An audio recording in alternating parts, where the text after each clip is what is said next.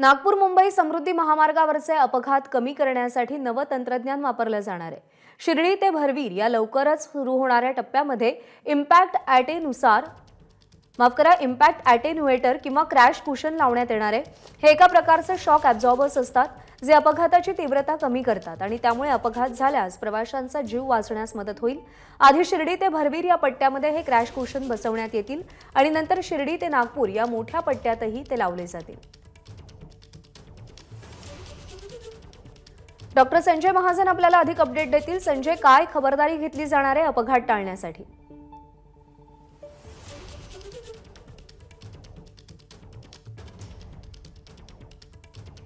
संजय माझा आवाज पोहोचतोय तुमच्यापर्यंत?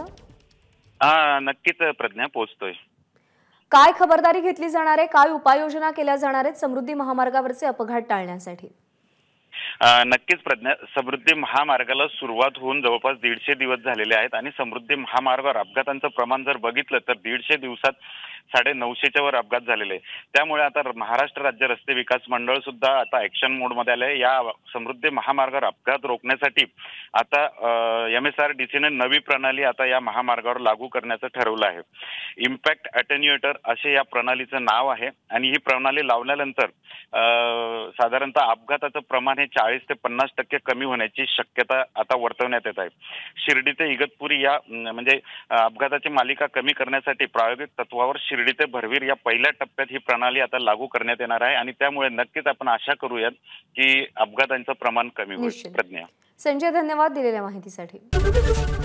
एबीपी माझा. उघडा डोळे बघा नीट.